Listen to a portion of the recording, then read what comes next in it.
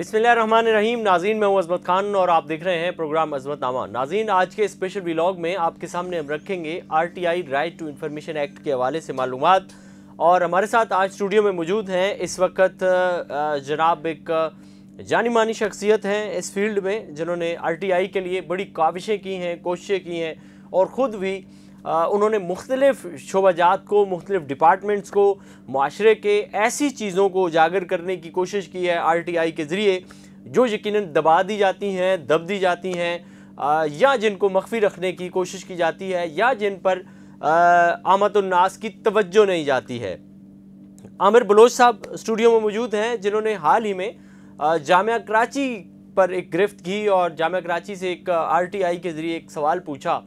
जिसमें जामिया कराची ने हसब मामूल लैतुलाल से काम लिया और उन्होंने इनके आरटीआई के जवाब नहीं दिए। क्यों नहीं दिए? इनके सवालात क्या थे? उसके बाद क्या मामला हुआ? ये कमीशन में चले गए। अब क्या फ़ैसला आया? ये अदालत के दरवाजे पे कैसे पहुँचे? अदालत से क्या इस्तदा की है? सारा कुछ जानते हैं आमिर साहब से। आमिर साहब वालेकुम। आमिर साहब हमारे नाजीन को थोड़ा सा बताइएगा कि ये जो आपने राइट टू इन्फॉर्मेशन एक्ट के तहत जामिया कराची को कुछ सवालत भेजे। वो सवालत क्या थे?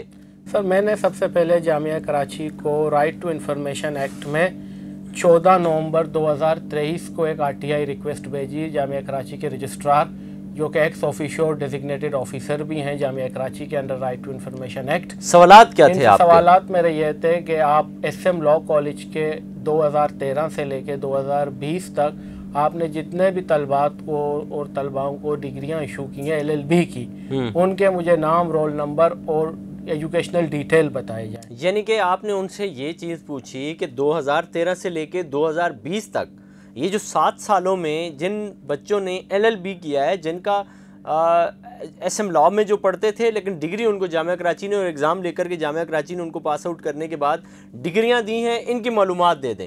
वो तो मेरे ख्याल में ओपन होती हैं सारी रिज़ल्ट भी ज़ाहिर है उनका बनता है लेकिन नाम नहीं होता रोल नंबर होता है। तो आपने नाम के साथ पूछा है मामला? जी मैंने नाम के साथ पूछा था और इस पर जामिया कराची ने मुझे कोई जवाब नहीं दिया मैं कमीशन चला गया सिंध इंफॉर्मेशन फिर आपने रिव्यू फ़ाइल किया उनको?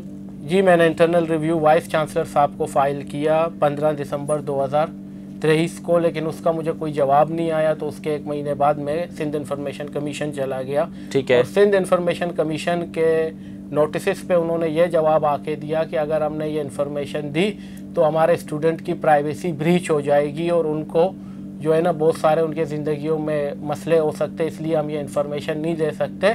और इस इन्फॉर्मेशन को उन्होंने ये प्रेयर की कि ये एक्सक्लूडेड इन्फॉर्मेशन है under Sindh transparency and right to information है। यानी कि हम ये नहीं देंगे ये तालब इम की प्राइवेसी है।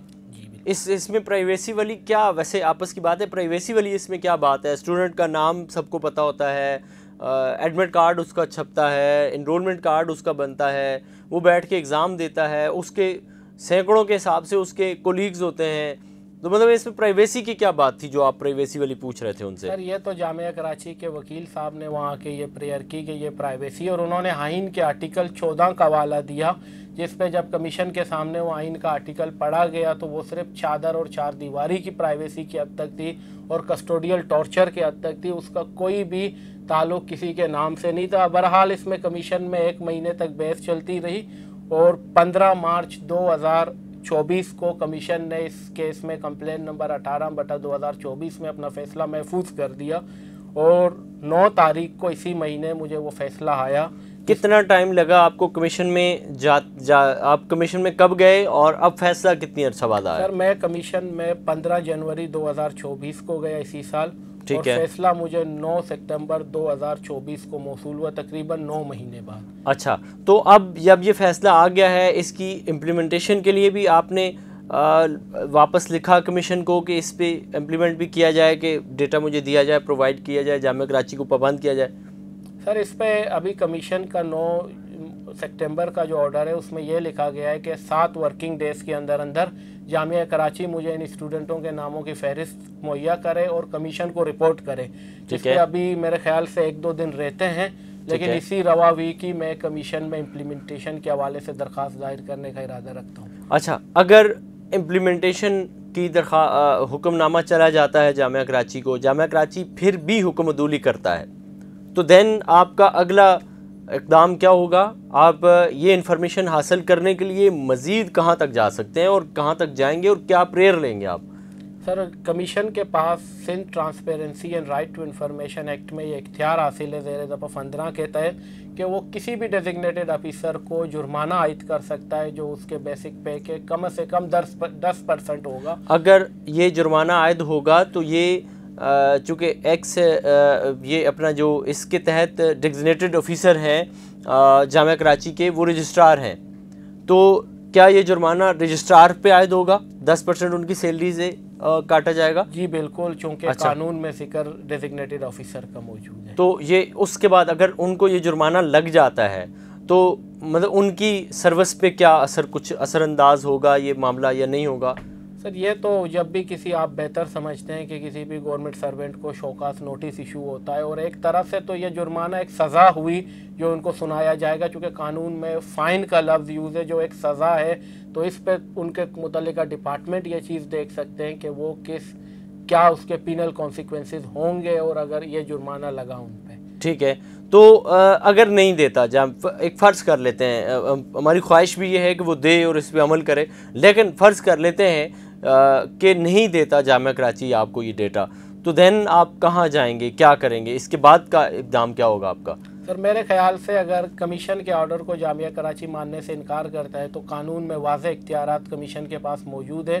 सेक्शन पंद्रह में और एज वेल एज सेक्शन सोलह में मौजूद है। अगर कोई एक्सट्रीम लेवल पे चला जाता है तो कमीशन में फ़ाइल रेफरेंस टू कोर्ट वो कोर्ट में एक रेफरेंस फ़ाइल कर सकते हैं, जिसकी दो साल सज़ा है। अगर कोई इस एक्ट के किसी भी प्रोविज़न की वायलेशन करे या कमीशन के कोई ऑर्डर को ना माने तो ये तो कमीशन पे है अब बात कमीशन पे आ गई है कि वो किस तरह अपने ऑर्डर पे अमल दरामद करवा सकते हैं। मैं नहीं समझता कि जामिया कराची को अब इखलाकी तौर पे ये काम ये मालूम दे देनी चाहिए ऑर्डर भी आ गया है। अच्छा अब एक और चीज़ जो ये जितनी बातें भी हम हमने की हैं ये एज़ पर डॉक्यूमेंट थी। ठीक है कुछ रूल्स में था कुछ डेटा में था कुछ आपसे आपकी दरख्वास्त से मुतलिक था कुछ फ़ैसले के मुतलिक था। अब जो सवाल मैं आपसे करने लगा हूँ, ये यकीनन सवाल जो है मेरा आपसे ज़रूर है, लेकिन इसका जवाब आपके दिमाग में है। ये ये किसी एविडेंस में, कागजात में नहीं है। तो अब आप मुझे बता सकते हैं, हमारे नाजीन को बता सकते हैं कि ये जो सवाल आपने पूछे हैं, ये डेटा अगर आपको मिल जाता है, ये कोई इतनी बड़ी बात नहीं है कि फ़ॉर एग्ज़ाम्पल कि अजमत ख़ान ने जाम कराची से पढ़ा है तो मुझे इसकी मालूम दे दी जाए। तो मेरे बारे में जाम कराची आपको मालूम दे दे। अब अगर उसने दे दी, और इसमें क्या चीज़ क्या है आप ढूंढना क्या चाहते हैं इस इस सब के बीच में कि अगर आपको सात साल का डेटा मिल जाता है तो उसमें से क्या निकालेंगे, क्या मिलेगा आपको?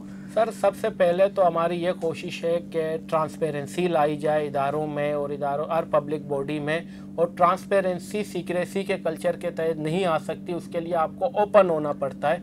अपनी मालूम शेयर करनी पड़ती हैं कि आप क्या कर रहे हैं, आपका स्ट्रक्चर क्या है। एंड सिंध हाई कोर्ट की भी इस पर जजमेंट है जिस पे कमीशन ने अपने फैसले में नकल की है कि 2012 में सिंध हाई कोर्ट ने तमाम बोर्ड और यूनिवर्सिटीज़ को ये डायरेक्शन दी थी कि आप जितने भी अपने तालीमी असनात हैं या तालीमी रिकॉर्ड है तलबा के उनको पब्लिक करें ताकि कोई अगर उसे अस्कुद या वो जल्द अज जल्द वेरीफाई किया जा सके।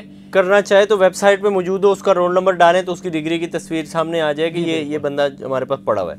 दैट्स गुड ये अच्छा है। तो आपने ये सारा इसलिए किया है बिल्कुल जी मेरा तो यही ख्याल है कि यूनिवर्सिटी को ना ही सिर्फ़ लॉ डिपार्टमेंट बल्कि अपने तमाम डिग्रीज को पब्लिक करना चाहिए क्योंकि डिग्रीज तो कॉन्वोकेशन में मिलती हैं स्टूडेंट को उनके नाम ऑलरेडी रिकॉर्ड में होते हैं तो इसे छुपाने की तो कोई वजह कोई नहीं। अच्छा एक और बात मेरे जहन में आ रही है अमर साहब ये उस वक्त आपके जहन में भी नहीं होगा ये तो चूँकि जस्टिस तारिक जंगीरी साहब का मामला उसके बाद आया है जब आपने पहले दरख्वास्त दी हुई थी इस तरह की। तो आप मुझे ये बताएँ कि अगर ये वाली आपके मामले पे जामिया कराची उस वक़्त पहले ही अमल दरामद कर लेता तो शायद उनको ये जितनी बड़ी अब जामिया कराची की बदनामी का सबब बना है, या जामिया कराची को जो जिन चीज़ों का सामना करना पड़ा है, ये ना करना पड़ता। अगर वो आपको पहले ही दे देते तो क्या था? एक लेटर आता वो जस्टिस जहांगीरी के मुतालिक भी देख लेते, और वो रिकॉर्ड दे देते, या रिकॉर्ड पहले से मेंशन होता उसकी वेबसाइट पे तो हर किसी को अवेलेबल होता। क्या ख्याल है? जी मेरा तो जो सवाल था स्पेसिफिकली वो एस एम लॉ कॉलेज के स्टूडेंट से रिलेटेड था।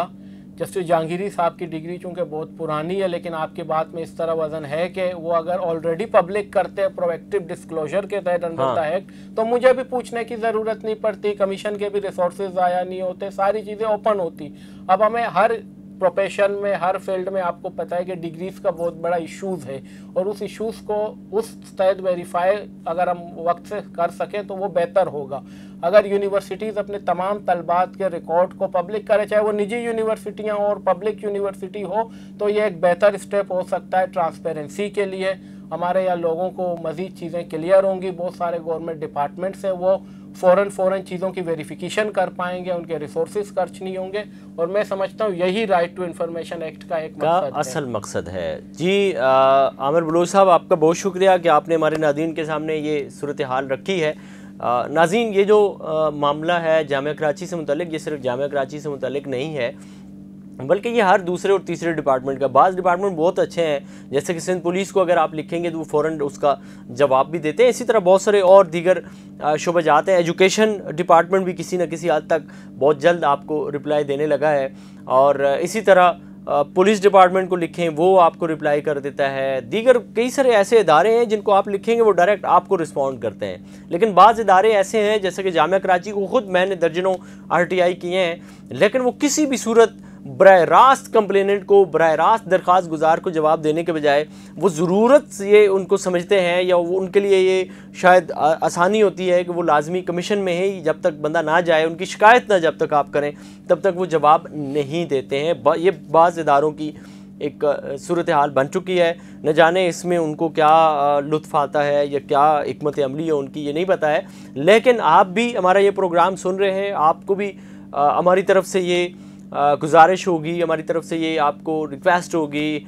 हम आपके सामने ये सारी चीज़ें इसलिए रखते हैं कि आप भी अपने राइट का इस्तेमाल करें।